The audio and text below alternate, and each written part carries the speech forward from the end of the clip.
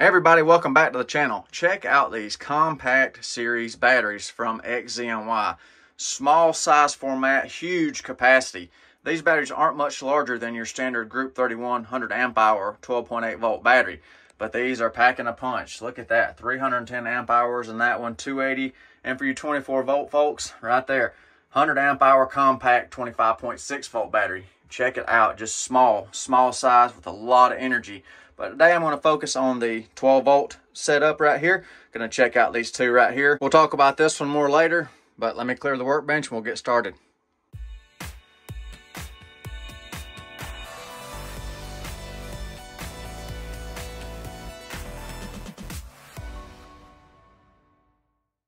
So I just want to reiterate how small this battery really is. You know, I don't have a 100 amp hour battery up here to compare it to, but here are their official dimensions, and I checked with my tape measure, and the dimensions are spot on the money right there. These are both the same size, by the way, the 310 and the 280. The dimensions are the same, just the difference is the capacity inside. So right there, there's your official measurements. And the biggest difference between this and your Group 31 format is this one's mainly a couple inches taller. So just keep that in mind. But as far as energy dense in this compact package, you know, you got over three times energy. It's a lot of energy right there to utilize. So how much energy am I talking about right here? Well, you could do, you know, I'm sure some of you already done the math, but I did it for you. Uh, 3.968 kilowatts or 3968 watt hours out of this one. 3.584 kilowatts or 3584 watt hours out of this one for a grand total of 7.552 kilowatts between these two batteries. That's enough energy in between these two batteries to run my house for 24 hours. That's impressive. And if your calculator's not handy, you just flip the battery around to the back and they've got your watt hours stamped on the back for you as well. Convenient. And when you purchase an XZNY battery, what do you get? Well, you get your warranty card, you get a nice little package, you get two sets of terminal bolts, different lengths, a short set, a long set. You get your comprehensive user manual that shows all your recommended charge, discharge specifications, inverter settings, all that good stuff. And both of these batteries are equipped with a 200 amp BMS, by the way, and claiming low temp protection. So this is the plan. Charge this one, run the capacity test on this 310 right here, and then do a tear down on this 280 right here. Uh, why not pull down both of them? Like I said, that's more power in these batteries than I require for my house for a day. I'm not just going to cook off seven and a half kilowatts. So I'm to make a compromise with you and cook off roughly four kilowatts. Hopefully it'll make four kilowatts uh, out of this battery right here. That would be pretty nice. So, you know, they're the same battery, just different size cells. So that's what I'm to do. All right, I got the 310 amp hour unit fully charged and topped off off the commercial NOEIFEVO charger right there. Uh, that 25 amp charger takes a while to charge that big monster up. Their standard charge rate is actually 40 amps. So I probably need to invest into a larger size charger. But anyhow, uh, gonna pull it off the charger. You can see completed and hook it to the capacity test rig and uh, pull it down. All right, I got 310 amp hour XZNY hooked up to the capacity test rig, aka the alpha inverter. Same test rig and same measuring as always. As you can see, the battery is at 14 volts. Go ahead and turn the inverter on. See, 14 volts right there. Uh, no energy has moved through the meter yet. So 14 volts under a 5 watt idle load. All right, this one's going to be hit a little bit harder than I normally run them at because that's going to take forever to burn that off. So I'm going to connect the load now. It is the golf cart charger. So We'll see what it settles in at on this system right here and get you a reading once it uh, dials itself in. All right, there's what's gonna settle in at right there, right at 1100 watts, give or take. Still 13.4 volts in battery and 80 amp load. So it's a bigger battery, so 80 amps should not affect its capacity. So I'm gonna pull it at 80 amps until the golf cart is full and then any remainder, I'll find something else to dump it into. Now, I'm gonna work on this battery right here. It's now time for the teardown inspection on the XZNY 12.8 volt 280 amp hour lithium iron phosphate battery. So I'm gonna see what the construction quality is on this battery, what kind of cells we got in here, BMS, low temp protection, all that good stuff. So, you know, it's intact. It won't be in just a minute. All right, the cover's most of the way off the XZNY 280. Save the last little bit of glue for you. Wow, look at that. Well, that's got a big old monster wire in it. Whoa, I think that's a, that is huge. I think that's the biggest one I've seen in any battery so far. Wow, those are large wires. Let me get you a better view. I just had to sit back for a minute and admire this battery. That is a 1 aught 200 degree jacketed positive lead right there. And three number sixes 200 degree jacket for the negative lead. Those are, that's, I'm having to sit here and look at it because that is impressive. I mean, that is an absolute monster right there. Uh, wow, that's, that's all I can say so far.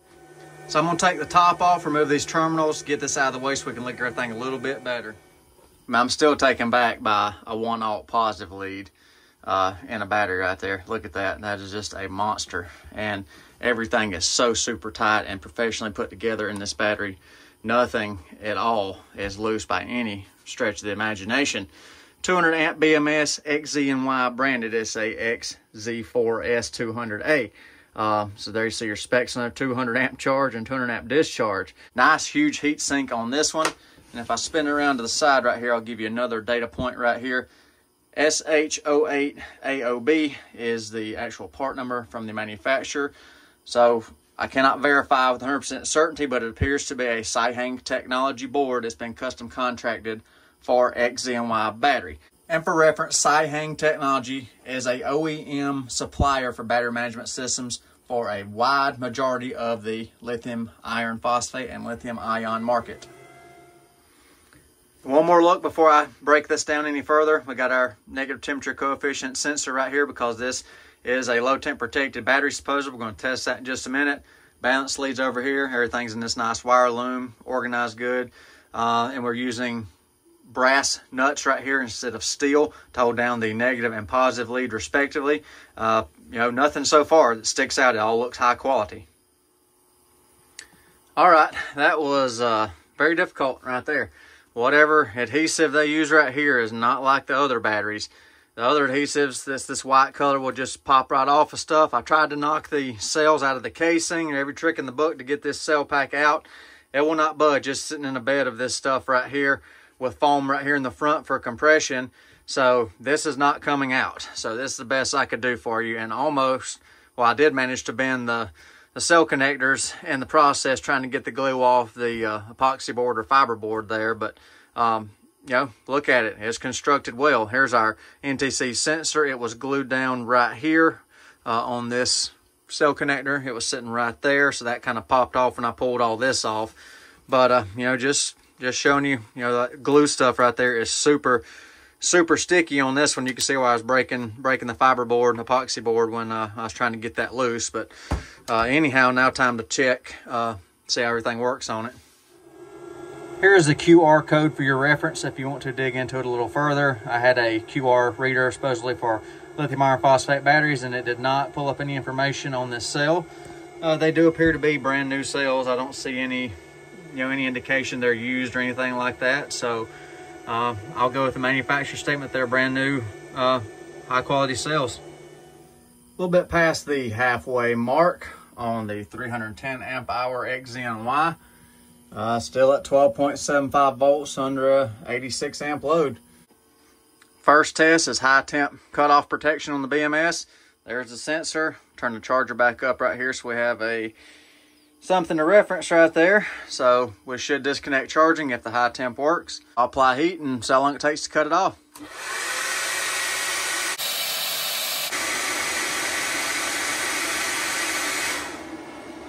Thirty seconds. All right, back to charging. Now time to check the low temperature coil protection. It's supposed to have precise temperature control on our low temp cutout. So let's check that just a regular old ice pack here. And if it's got low temp protection around 32 or right near it, this will trigger it. All right, here we go.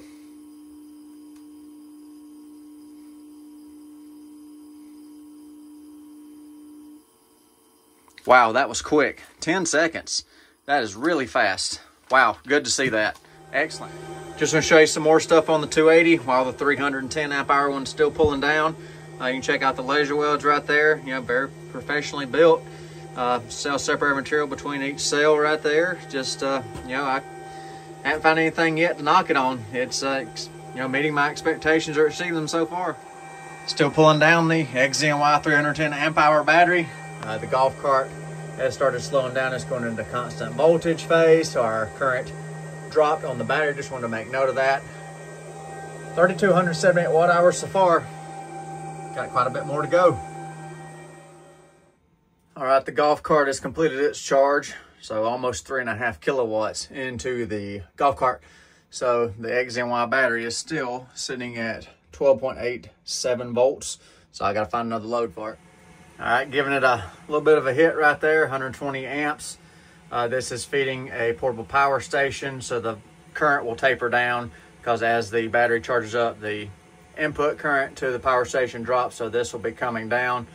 But, you know, just giving it another good hit. I'm not, uh, not being easy on it. All right, that settled in around 100 amps uh, from the XZNY battery into the alpha inverter. Remember, I'm feeding that portable power station, so this current will eventually taper down as the power station nears full state of charge. Well, the XZNY 310 amp hour battery is about to deliver its rated capacity.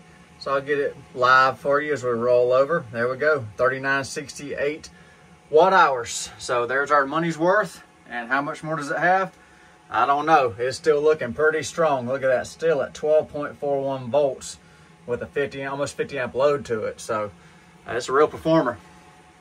About to drop out on the XZNY 310 amp hour battery. So I'll just record until it drops out. Very impressive capacity. The inverter should be cutting off any second now. All right, the inverter just cut off. 4,185 watt hours out of the XZNY 310 amp hour. Wow. So the XZNY 310, you know, nominally rated at 3968, delivered 4185, so roughly 5.5% over. Very impressive capacity, especially considering at times it was pulling out of it at over 100 amps. Very impressive. So I'll share my final thoughts on the XZNY Compact Series batteries. First off, can I recommend these batteries? Yes, I can recommend these batteries. I couldn't find anything uh, to knock them on, which is rare. Uh, good construction, you know, huge wire in this one. You know, great BMS, uh, low temp protection. I mean, I don't see anything to knock it on. Capacity wise, I mean, 5.5% over, pulling it at 80 amps, sometimes 100 amps. I sh showed it no mercy. So I guarantee that number would go up some if it was pulled slower. So if you're looking for an off-grid or storage battery, RV battery, whatever, yeah, this you might want to look into these. As far as pricing on these batteries, uh, the battery price is currently, you know, not just XZNY, but all manufacturers, they're kind of, you know, up and down day to day. So I'm not going to quote you an exact price because, you know, by the time this video comes out, the price may be different. But what I will do is put links in the description of the video. So just click the link, you know, in the description, and then you can see the current market price. But XZNY is supposed to have some coupon codes and things like that come out on these. So just just check and see if the price is you know good for you. And they told me the price is going to be very competitive, if not better, than buying say three single you know 100 amp hour units together, you know to make 300 amp hours. And this one, you know, you only got one one BMS to worry about instead of three different BMSs and all the wire. So if it was me, you know, instead of buying three 100 amp hour units, I would prefer to have one 310 amp hour unit like this one right here. Just less problems to install, less cost overall. So keep that in mind if you're you're considering you know something like this versus three 100s.